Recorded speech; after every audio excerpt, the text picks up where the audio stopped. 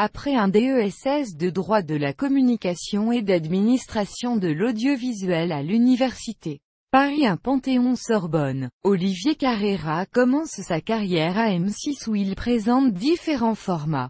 Le Grand Zap, divertissement en accès prime time qui réunit les passionnés de cinéma, pub, télé, radio et de toute la culture populaire du divertissement.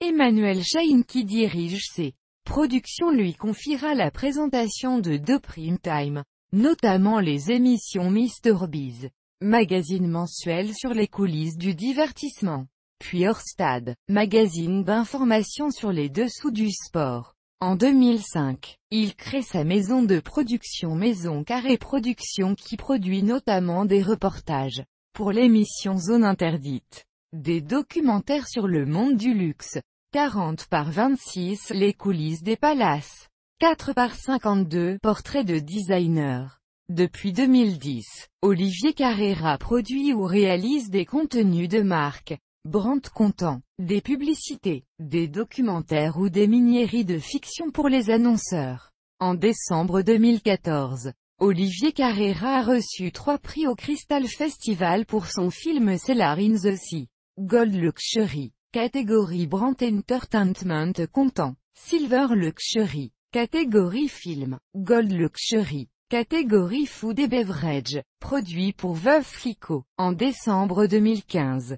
Maison Carrée est à nouveau récompensée avec trois nouveaux prix. Cheval Blanc, Bronze Luxury, catégorie Online Vidéo, Dior Gravity, Gold Luxury, catégorie Brand Entertainment Content, Bronze Luxury, catégorie Online Vidéo.